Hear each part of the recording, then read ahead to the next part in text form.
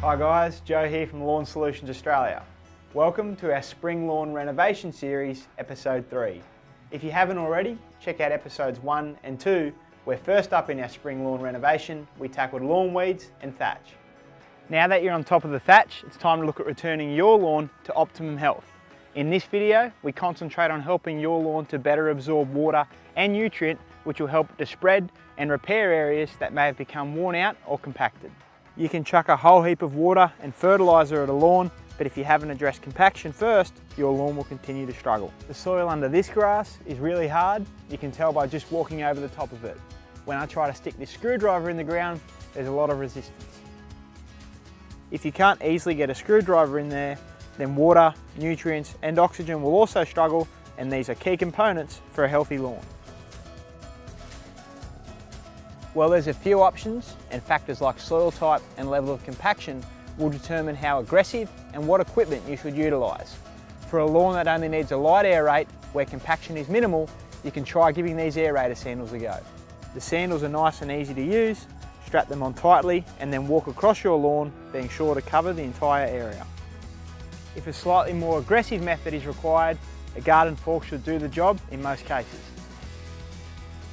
Drive the fork into the soil to around 100 millimeters and wriggle it back and forth to fracture the soil profile. If you have a highly compacted base or need to try and improve the soil base through top dressing, you might want to look at core aeration. Core aeration involves removing a core of soil from the lawn instead of a solid tine.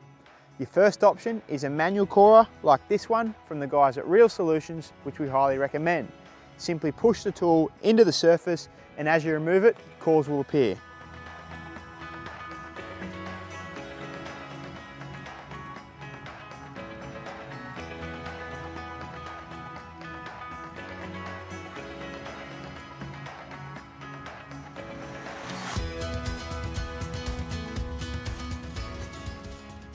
Once the cores have been removed, you can rake them up and dispose of them. Alternatively, you can brush them apart and back into the holes. If the soil profile is heavy clay, like you see here, you might want to look at replacing the cores through top dressing by applying a sandy loam. We will cover top dressing in more detail in one of our next videos. Now your lawn will be much more able to absorb water, oxygen and nutrients which will help it to repair worn out areas and thicken. This also makes it a perfect time to apply fertiliser and to top dress your lawn, which we will cover in our next video. Check out the Lawn Solutions Australia website for more helpful lawn care tips and advice, and don't forget to subscribe to our YouTube channel. Thanks for tuning in to Lawn Solutions Australia, and we hope to catch you next time.